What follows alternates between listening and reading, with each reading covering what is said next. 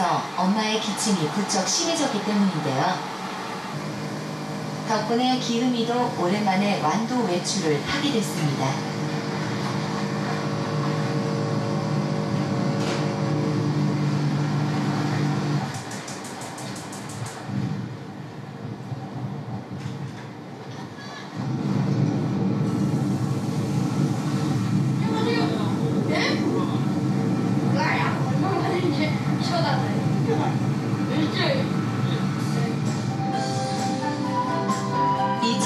육지에서만 쓰는 기흥인의 자가용입니다.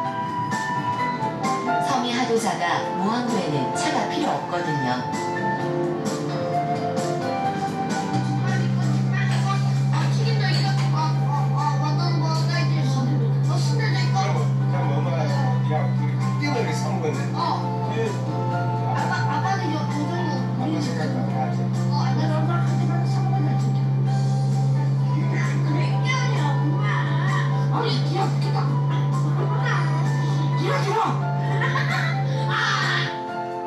김밥 순대를 다 뒤로 하고 우선 들른 곳은 엄마의 병원.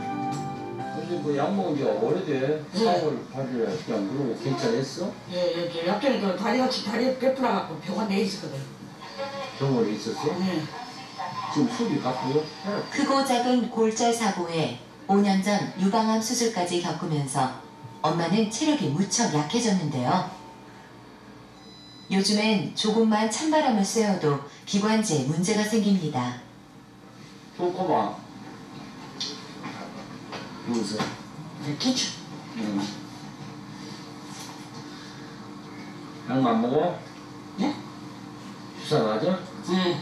주사 맞아도 빠르지.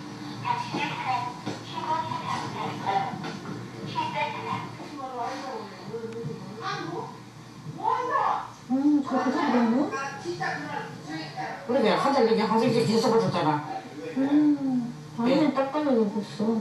깨끗거든. 오랜 병원 생활로 엄마의 혈관은 굳을 대로 굳어버린 상태.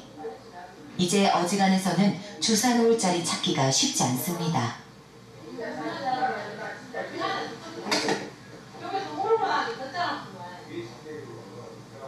괜찮은가? 음. 닌게 꼽았다고 막 대발이 그렇게 터지고 그러더라고. 터지네, 진짜. 터지지? 터지더라니까. 이번엔 손목에서 바늘 꽂을 자리를 찾아보는데요. 아프다. 너무 아프다. 잠깐만 계세요. 결국 젊은 간호사가 주사 놓기를 포기하고 다른 사람을 불러왔습니다.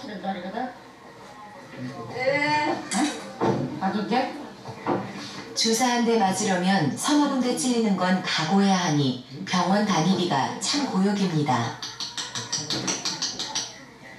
얘 아빠 이쪽 판은 안 맞았거든.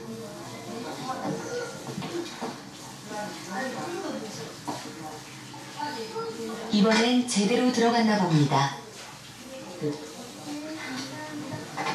아이고. 이런 약을 번거리는 거야.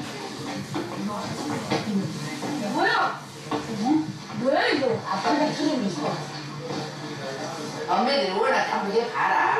너 그때 저 기나 홀로 가 우리 얼마나 갔어 그런다는데 해봐야. 해봐 한다만 불어봐야. 해봐 그렇다. 기름이만 완도에 떴다 하면 나타나는 열혈 팬들 바로 엄마들인데요.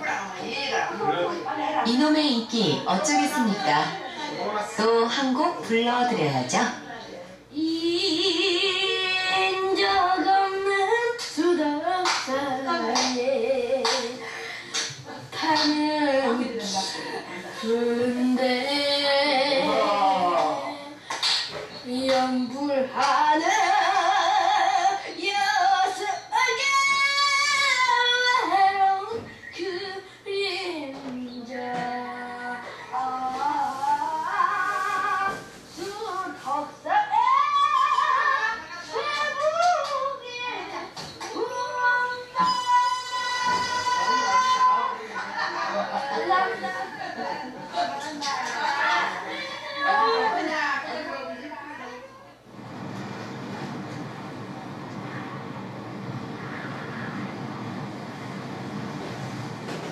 서울에서 100년 만에 폭설이 내렸다는 날 기흥인의 모항도에도 눈발이 날립니다.